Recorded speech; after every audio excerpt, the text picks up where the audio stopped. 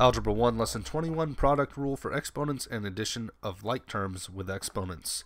Alright, so we learned the product rule of exponents, which just means that whenever we're multiplying unknowns with exponents, we can just add the exponents together. And that, that goes for whole numbers as well. Anytime we have two numbers, they're the same number with different exponents, we can multiply them by just adding the exponents.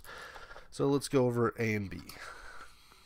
So, all we're going to do here is we're going to add up all the numbers for all the exponents for x and then add up all the exponents for y and then write that together as our final answer.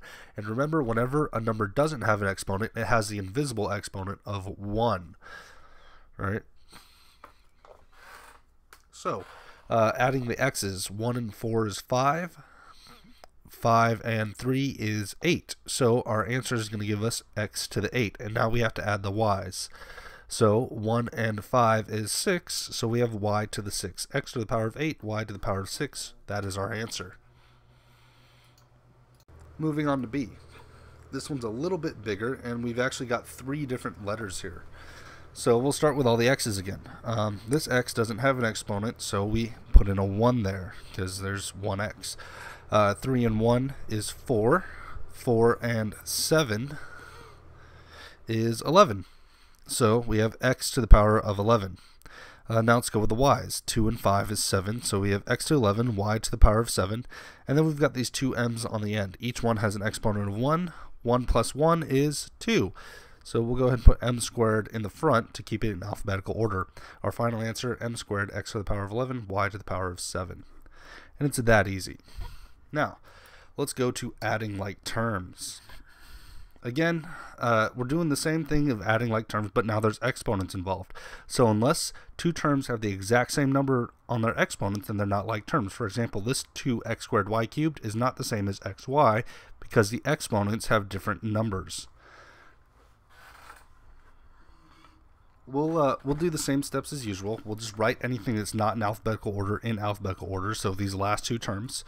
So we'll replace uh, negative uh, 8y cubed x squared with negative 8x squared y cubed. And it's very important when you do this that you don't switch the exponents, all right? So the exponent follows the letter.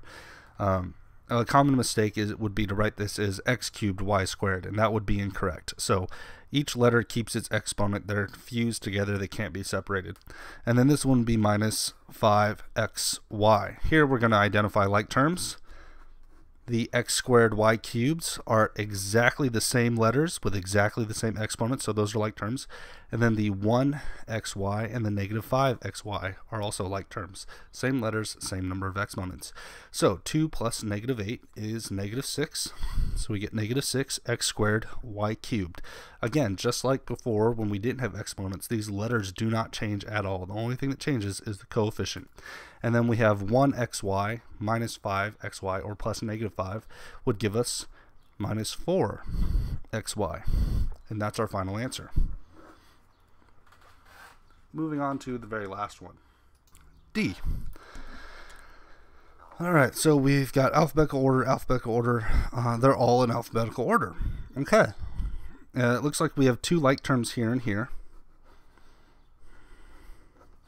Um, and then these aren't the same at all. And that's okay. Alright, so we can have three different terms in our answer.